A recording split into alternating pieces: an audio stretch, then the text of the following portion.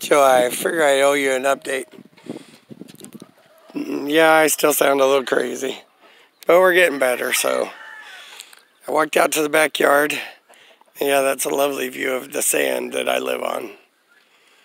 So if it doesn't rain, we have dry sand. Um, the dog immediately runs out the door to runs out by the door to see what I'm doing. But usually when I walk out the door, I've got some scraps or something.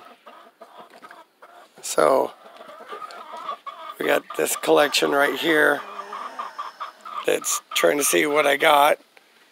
So one of them over there is making noise. She wants to see what I brought her. But I didn't bring her anything.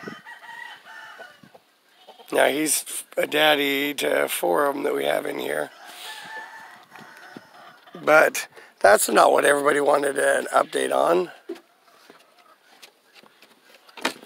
Because I just trying to tell you all that this is how easy it's supposed to be to find all the cows or the calves. supposed to walk out here, look out in the field and see. So, let's see, oops, fingers in the way. Okay, we see the tree right here. Right beyond the tree is three baby cows and a mama cow.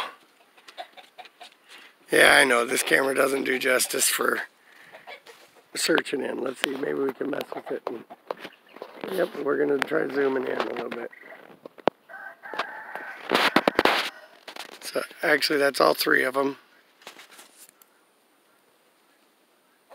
And yeah, I can't hold the camera still enough when it's zoomed in like that. And because I'm pointing and staring at the cows out there, the dogs decided that it needs to go out and check out what's going on too. Because there must be some thread out there. So let's zoom back out so we don't have the uh, crazy shakiness. I mean, you still get it, but anyway, hope y'all are doing great. We're doing better. Maybe by this weekend I'll feel like actually getting out here and doing something. Hope y'all have a great evening. Love you. See ya. Talk to you next time. Later, guys. Bye.